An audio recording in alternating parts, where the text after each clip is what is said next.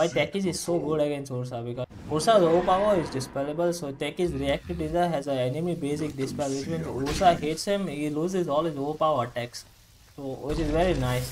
Another way to counter Ursa is to buy a nullifier. Just put the nullifier on him and his overpower is dispellable again which means Ursa cannot burst any hero.